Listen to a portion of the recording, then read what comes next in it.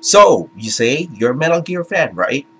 Well, if you're going to order Metal Gear Solid 5 Ground Zeroes in Europe right now for 30 pounds, you're going to have also Metal Gear, Metal Gear Solid Peace Walker.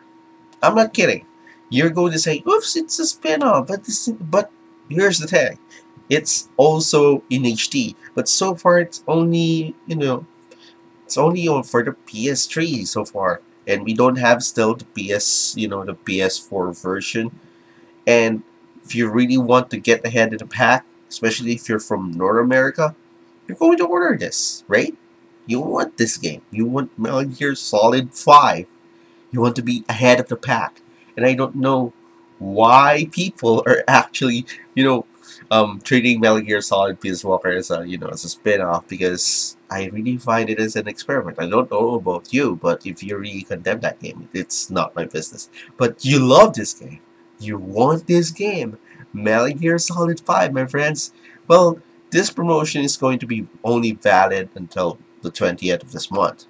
But, uh, well, that's the thing.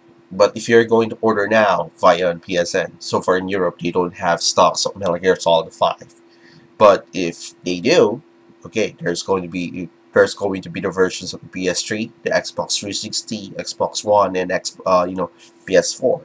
So you're going to have choices. So far, we only have on the PS3. I don't know much about the um, much about the frames per second or you know the pixels but whatever. It's this is going to be a sweet deal for you.